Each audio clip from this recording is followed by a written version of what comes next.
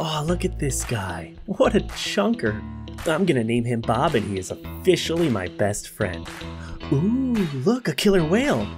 Why did they call them that? Oh my god, no. Oh, not Bob. Oh, he was so young and chunky. Oh god. Oh god.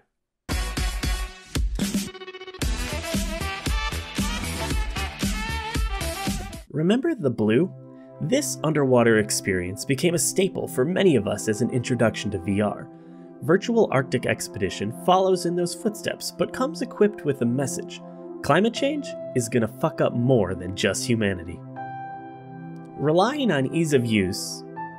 uh, ease, ease of use. Oh, come on, you stupid piece of. Okay, there we go. Relying on ease of use, Arctic Expedition allows a user to quickly venture beneath the ocean in order to see and learn about a variety of different animals native to that region. Arctic Expedition is an educational game first and foremost. We begin our journey in the 1950s at the bottom of the Arctic Ocean, right next to a downed aircraft. During this time period, the seas are mostly unaffected by human influence, and the flora and fauna are living in a natural harmony. But don't worry, humanity is about to royally fuck that up. We step into a time machine of sorts, where our lovely narrator begins to describe the effects climate change has had on our oceans.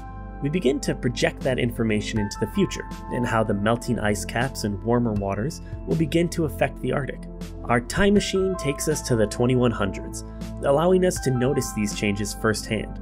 The flora is noticeably larger, and suddenly we have predators from warmer waters making their way to the Arctic. Animals that once thrived are near extinction, Overall, the game is a compelling method of teaching the effects of climate change. It's always better to see it with our own eyes, even if it's just an approximation of the future in a VR headset.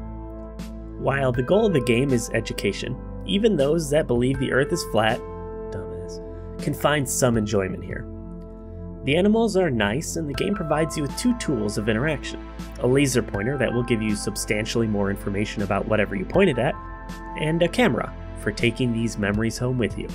I wonder how much a picture of a beluga whale from 100 years in the future is worth. Hmm. There is no movement whatsoever, and this helps keep your attention on the animals instead of struggling to always be in the right place. While theBlu amazed with colors and exceptional environments, the Arctic Expedition is considerably more drab.